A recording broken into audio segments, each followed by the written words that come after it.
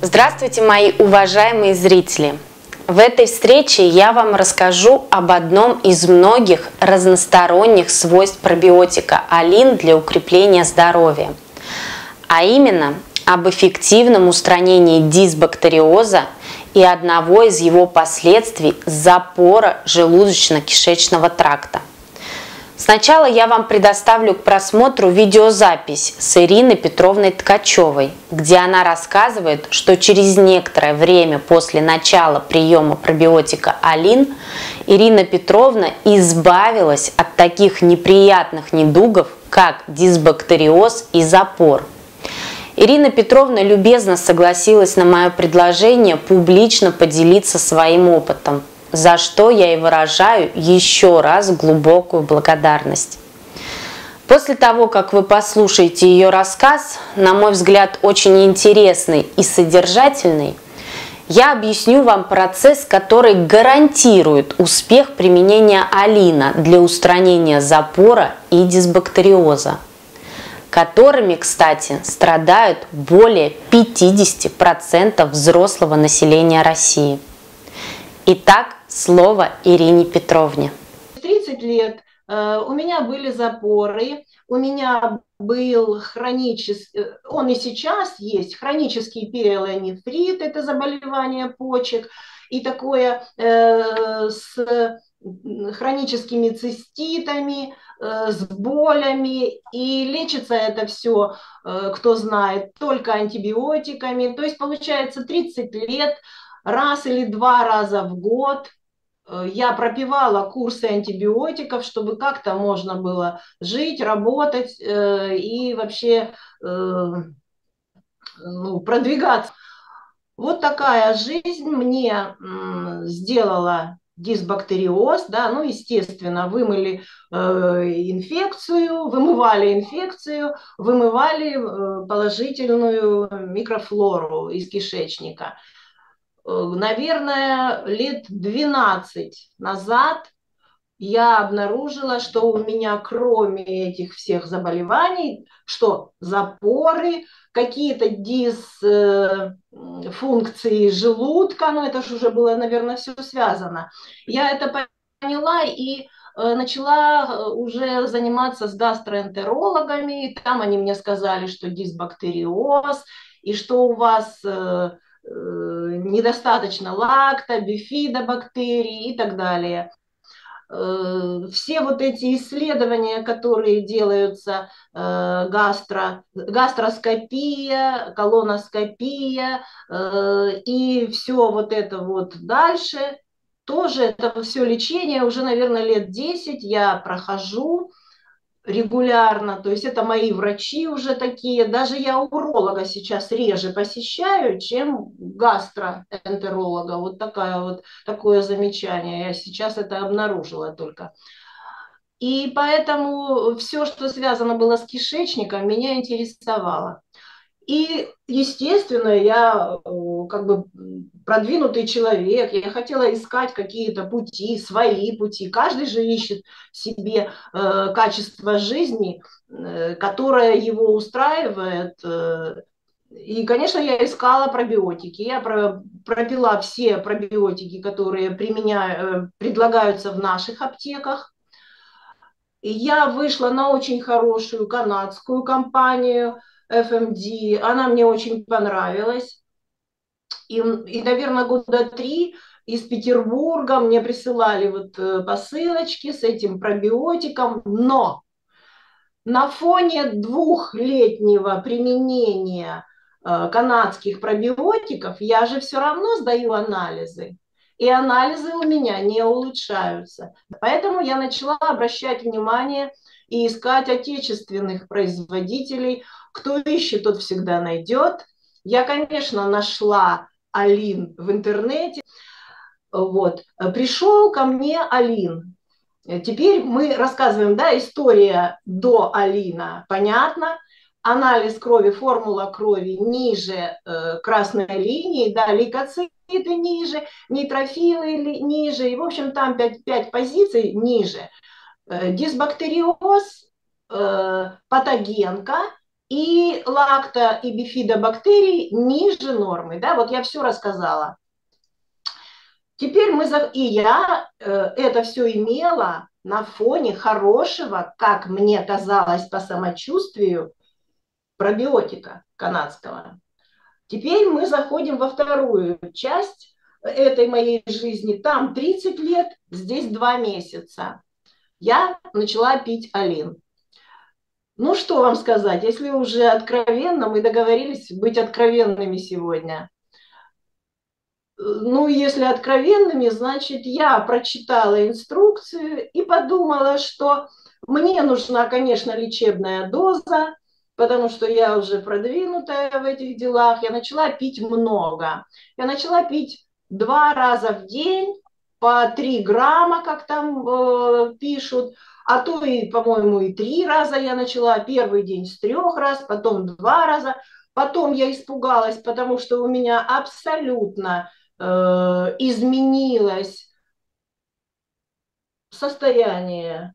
Э, то есть у меня начались даже то началось, чего не было раньше революции в желудке, да, я слышала эти бурления, эти метеоризмы, э, эти несварения желудка, кишечник бурлил, э, токсины, видно, в голову мне э, бросались, потому что головные боли, да, но я так понимаю логически, если там что-то убивается, какая-то патогенная флора, токсины все равно должны выйти. Если их много, лимфосистема не способна их вывести сразу, и они э, бьют нам по голове, и мы чувствуем головные боли, дискомфорт, э, ухудшение качества жизни и так далее. Ну что, про, про диарею рассказывать, чего рассказывать, все понимают в день. У меня это было 6-7, это было очень обильно, это шла вода, я подумала, что у меня уже обезвоживание организма, я испугалась,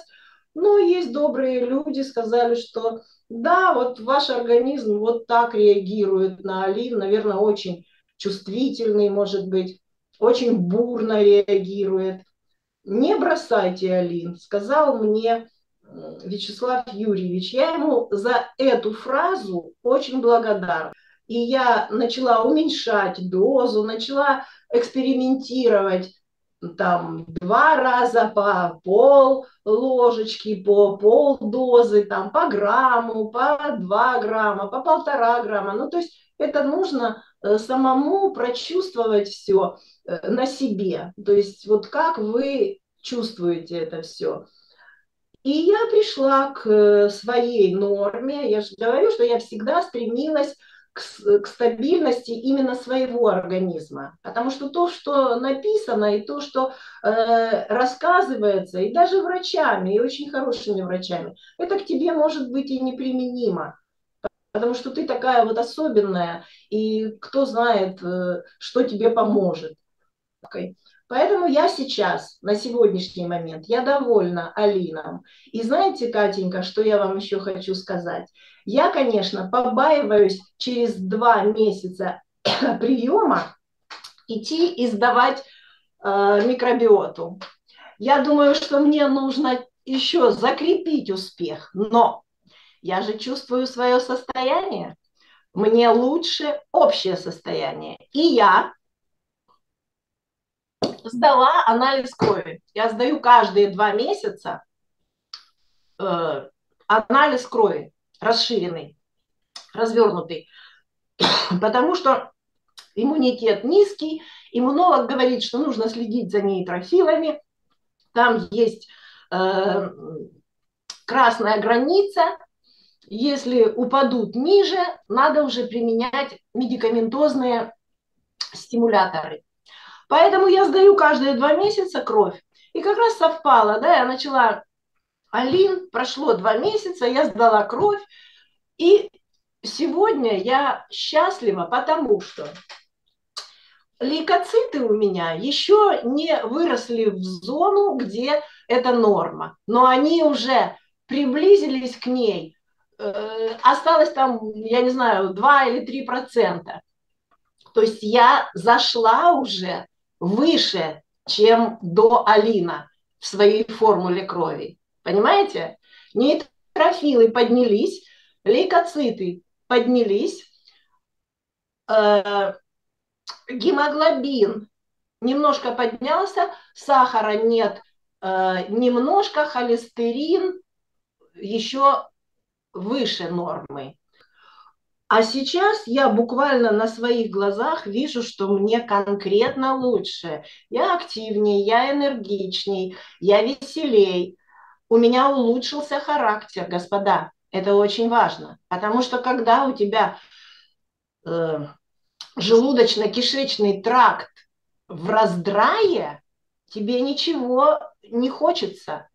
А вот сейчас я обнаружила, что мне уже, раньше я вообще уже год, наверное, в гости не ходила, а сегодня у меня приходят гости ко мне. То есть что это значит? Значит, я могу уже кушать нормально, я уже не боюсь, что у меня будут какие-то дискомфорты, я начинаю нормально жить. И вот эти страхи свои, что совместимо в продуктах, что можно кушать, что нельзя, какие будут последствия, э, какой, какой, извините, утром будет стул, или его не будет вообще, он закупорится, как обычно.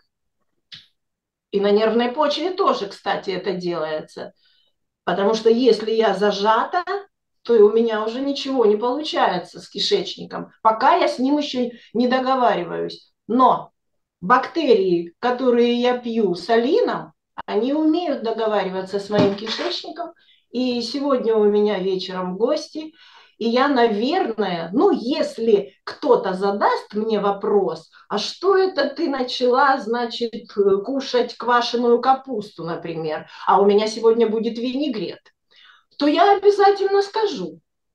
Сама не полезу с такими разговорами, но если меня спросят, я обязательно скажу. Вот так, Катенька. Значит, стратегия у меня есть в жизни. Тактика с Алином каждый день отработана. Теперь нужно наблюдать и радоваться. Качество жизни поднялось. Муж сказал, что у меня характер улучшился, а я знаю, почему он улучшился. В общем, все хорошо. Отлично. А, Ирина Петровна, а, скажите еще, пожалуйста, а, после того, как вы определили для себя максимально комфортную вот дозировку применения Алина, спустя какое время вы почувствовали уже, что у вас стул нормализовался, кишечник стал работать как нужно? Значит, я постепенно снижала. Я же начала с лечебной дозы, то есть 6 грамм в день. Потом я ушла на 3 грамма.